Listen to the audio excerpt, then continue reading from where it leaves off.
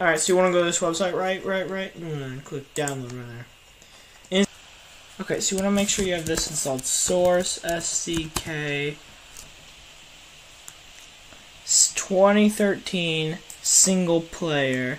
Now install this. If that's all you need to install it. And after it's installed, you want to go to manage. You want to go to uh, you want to go to properties, right? And you want to go to betas, and you want to click beta student coming. It's going to update, and then you just want to close Steam SMod. Pretty pretty cool file, I must admit. So you want to uh, um, extract it, which you extract with 7-zip or WinRAR. Alright, so once it's done doing that crap, we're gonna open it, right? And you got the shit. So, um, what do you want to do next?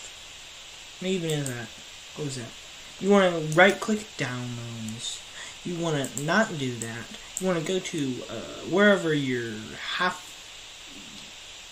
just open this. Okay? Open this. You got your computer little thing. Program Windows 86. Steam. Uh, I'm gonna go to Steam Apps. Common. Oh, wait, wait, wait, no, I, I went too far. You want to go to C maps, and then you want to go to Source Mods. Now, I already have this stuff in here, so I'm not going to put it in here, but what you're going to do is you want to go to Game, drag this into here, we're going to go to CC++ and drag it in there.